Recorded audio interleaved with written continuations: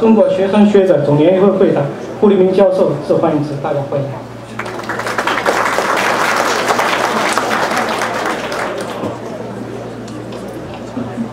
各位领导、各位朋友，大家晚上好。我代表亚特兰大中国学生学者总联谊会、亚特兰大中华生命科学协会，热烈欢迎崔天台大师节一行，感谢。休斯顿总领馆习总领事、张副总领事及各位领事来参加欢迎晚宴。祖国强大，我们留学生、学者、华人、华侨在国外才能够扬眉吐气。祖国的关怀永远温暖着我们的心，祖国永远在我们心中。我们亚特兰大的中国学生学者，从一九一九九零年起，在埃默里大学、乔治泰、UGA、GSU 等大学相继成立联谊会，在此基础上，在一二零零三年成立了亚特兰大中国学生学者总联谊会。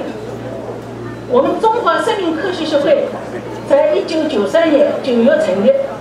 由博士后、专家、教授、研究员等学者组成。我们联谊会的主席经过一到两年的任期以后，得到了专业，有了经验，然后留在亚特兰大继续做新一届联谊会的传帮带工作，并且担任中华生命科学协会的理事。组成了我们强大、精干、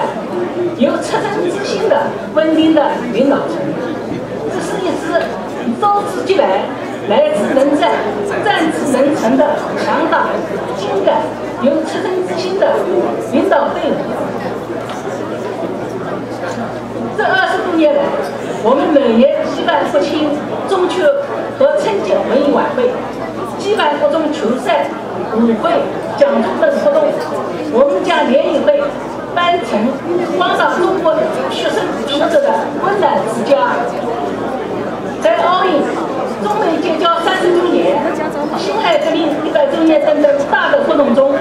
广大学生学者都起到了先锋和桥梁作用。我们举办了中国的光辉五十年、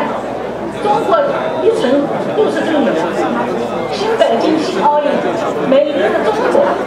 中美建交三十周年系列展览等等大型展览会，宣传中国文化，宣传美丽中国，让世界人民进一步了解中国，热爱中国。我们每年设立领馆，现场办公，为需要更换护照、旅行证等等的华侨